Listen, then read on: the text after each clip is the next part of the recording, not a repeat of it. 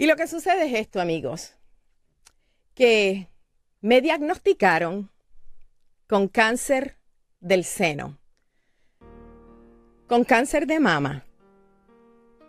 Y les digo que poder decirlo como se los estoy comentando a ustedes en este momento, no hubiera sido fácil hace como un mes que me enteré, porque aceptar y tú decir tengo cáncer son unas palabras que es fácil comentarlas para alguien más, pero cuando a ti te toca enfrentar que tú eres quien sufres de esta enfermedad, es bien difícil decirlo. De hecho, les cuento que al principio, cuando yo tenía que decir mi condición, si tuve que hablar con mis padres, cuando tuve que hablarlo, no podía decir que era cáncer. Yo lo que decía era, me hicieron unas pruebas, me hicieron una biopsia en el seno y, encontraron que tengo algo.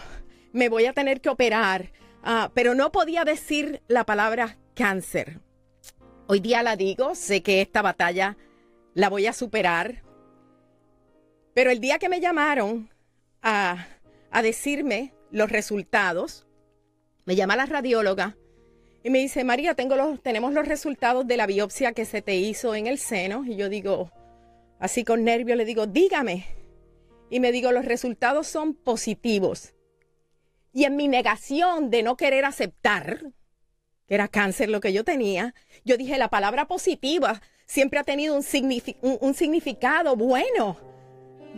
Tú sabes que en la motivación la palabra negativo es malo y la palabra positivo es bueno. Así que cuando me dijeron tus resultados son positivos, yo les rogué a Dios que dije que positivo sea algo bueno. Y le digo a la radióloga, ¿qué significa positivo?